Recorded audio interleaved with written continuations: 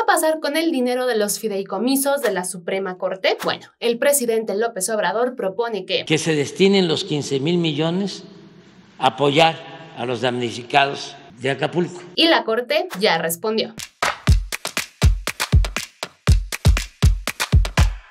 El 31 de octubre, el presidente López Obrador dijo durante su conferencia matutina que los 15 mil millones de pesos de los fideicomisos cancelados del Poder Judicial podrían ser utilizados para ayudar a las personas afectadas por el huracán Otis en Acapulco. Explicó que este dinero debe regresar a la tesorería de la federación para que el presidente lo utilice en beneficio del pueblo. Además, dijo que de negarse, el Poder Judicial estaría perjudicando su imagen. Vamos a escucharlo. Imagínense que digan no con alegatos de todo tipo, como leguleyos, con el apoyo de los legisladores conservadores, que están al acecho y van a todas, porque quieren eh, sacar votos, quieren obtener votos. Y pues la Corte dijo que sí. En una carta publicada el mismo 31 de octubre, la ministra presidenta Norma Piña le dice al presidente López Obrador que la Suprema Corte de Justicia está al tanto de su propuesta y que les parece una alternativa real